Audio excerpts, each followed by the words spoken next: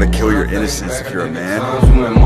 Women need their innocence preserved. Women and children deserve to be happy, men don't. Because men have to take on the burden of society. Men have to be willing to see the grotesquerie.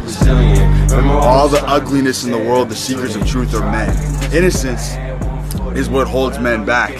You want to be able to kill the innocence, kill the boy as soon as possible to become a man. Everybody in the middle always gets fucked. It's true with cars, businesses, anything. If you get a middle class job, you're completely wrecked. But if you're dirt poor or rich, you have a very similar sensibility of life. The dirt poor, no one can tell them what to do. Still got the fuck you swagger.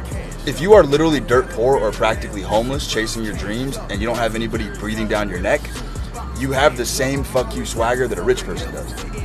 But the best example of low end, high end theory I've ever heard is if you go back to philosophy with Diogenes. Diogenes was poor as fuck, anti materialist. He was sleeping under a tree.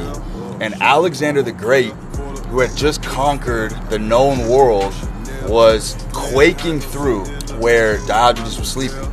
And he rolls up to Diogenes, stops to talk to him, and Diogenes is like, Get out of my light. Like, Get out of my view, get out of my light. He's blocking his light talking to Alexander the Great. The poorest man on earth is literally telling the fucking greatest conqueror king known to mankind, telling him to get the fuck out of his view. And Alexander looks down at him and he goes, If I wasn't Alexander the Great, I would want to be Diogenes. And Diogenes looks back at him and goes, If I wasn't Diogenes, I'd still want to be Diogenes.